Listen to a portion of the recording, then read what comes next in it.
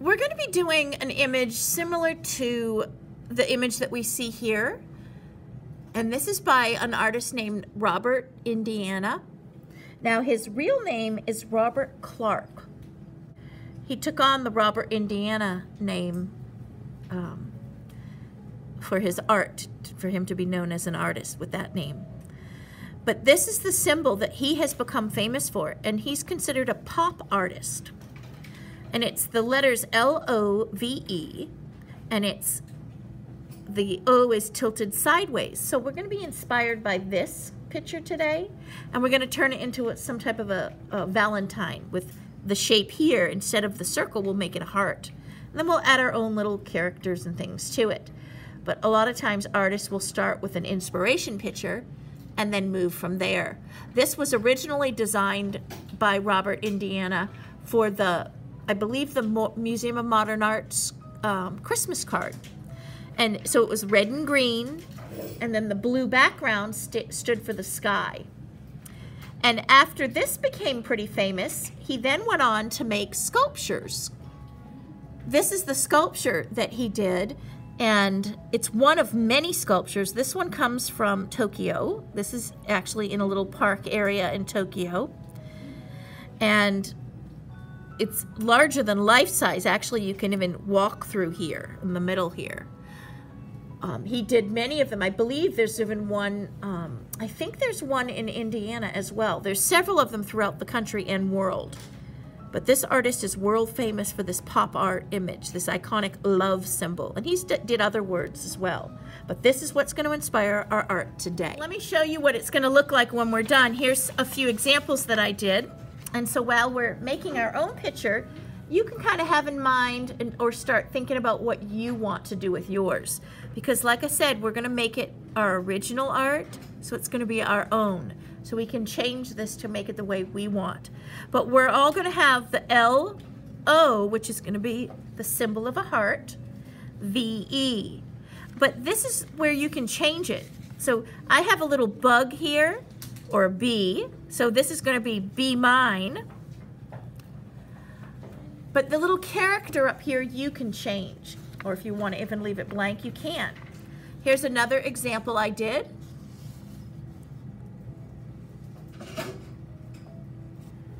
And I did a little owl at the top.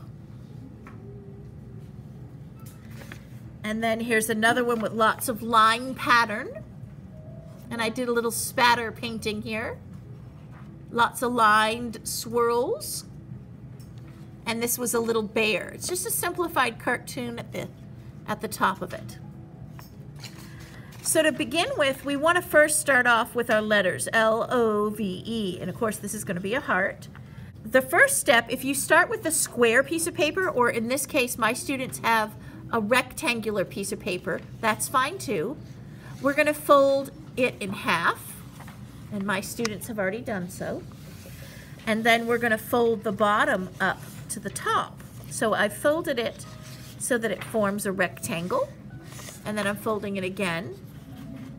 You just want to have it two folds so that when you open it up, you end up with four equal sections. And if you start with a square piece of paper, that's fine as well, or it can be rectangle. As you can see, our squares are rectangular here. You may choose, because as an artist, we oftentimes have choices. We can choose to hold our paper horizontally in front of us, or we can choose it to be vertical. Either way is fine. I'm going to choose horizontal because that's what best shows in my camera here. To start off our picture, we're going to be focusing on the center of our page and we're going to jump up to the first square or rectangle and we're going to make a large L the size of this space.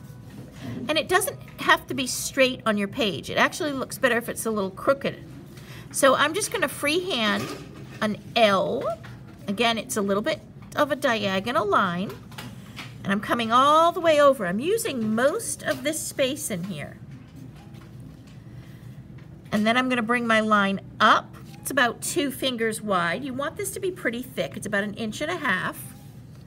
We're making bubble letters. and I'm coming over, or block letters. Then I'm gonna come back down, and I'm gonna bring this across. You want it to be nice and thick so you can add some fun patterns and designs to it. So that's at a slight angle. Now our heart is going to be in here. You want to leave space for a little character or cartoon that you're going to add, but we want to use up this whole space here. For the heart, if you find your fold line that's in the middle, I'm finding the center of my page, I'm going to jump up halfway, and then I'm going to jump over just a little bit. And I'm going to make a large letter M that's a small letter M. So I just came up with a bump, up with a bump. It takes up almost this whole rectangle. Notice there's a little bit of space here. And of course I have space at the top to add my cartoon too. Now the heart, I want to come almost to the bottom where the fold is. So I'm going to bring it around and down, and that's a vertical line down, around on the other side, a vertical line down. So I have my L, my O, which is represented by a, the symbol of a heart. Now I want my V and E. So I'm going to do a large letter V here. Again, I'm going to start on this fold and just jump over a little bit. And I'm not at the top here and I'm going to come down almost to the bottom of the page. It's a diagonal down. Then I'm going to bring this side up quite large. I'm going to make them the same on both sides. And then I'm just going to come in and in on this side. I want these two lines to be approximately the same length. And then I'm just going down diagonal and down diagonal. So I have a pretty thick letter V. Now we're going to do the same on this side for the letter E. It's going to take up most of this space here. If I find my fold, I'm going to jump over approximately the same space. It's almost a finger's width from, this, from the fold. And I'm going to go down approximately where the V ends is where I'm going to stop my E. Then I'm going to come over across and across on the bottom. I'm going to come down and up. This is approximately an inch. It's wider than a, the thickness of my finger. And I'm going to come back and I'm going to come back. These two lines need to be ending in the same space. Then I'm going to do a short line down and a short line up. And I'm going to make the small center of the E.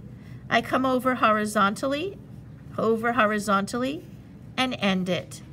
Notice this ends before these end. So this one is the smaller piece in the center. Once you have your letters the way you like, then you can design yours. You can add whatever you'd like to it. For this one, I decided to make my heart really wide, so I added more pattern coming out.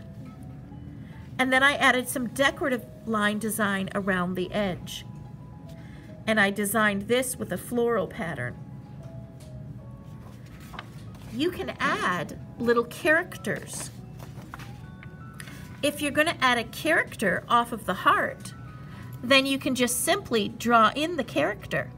I start with a curve, and then from there, add any designs for the face. If you're doing a bear, then you would add the ears and the little nose and eyes. I even put his paws on the side. With the bee, I did bulgy eyes. I'll show you a bee right here. Bulgy eyes. I added some curly Q antennas. Then I added the details to the eyes and some big wings out and around with a happy smile. You could even decorate the bee with some stripes if you have any room here. You could even put the bottom of the bee coming this way, his little stinger. And then do a trail of dotted lines. I'm going to add another layer of wings here.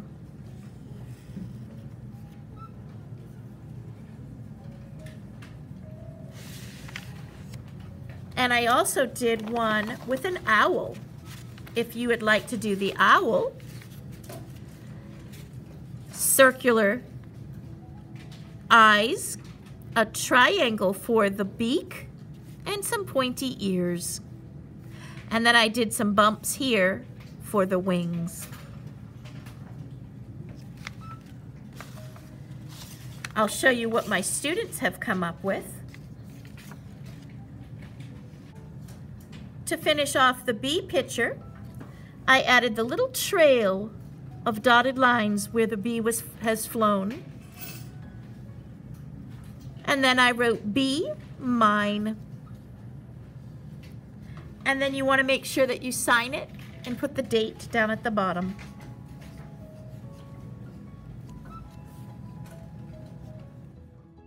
Well, I hope you enjoyed this video, and if you liked it, be sure to hit the like button and for those viewers who have signed up to support this channel, I want to give a big shout out to them.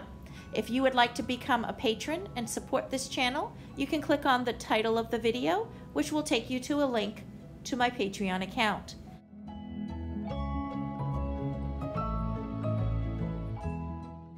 The art images you seeing now have been produced by my students in grades 2 through 5. I hope you enjoy the student examples.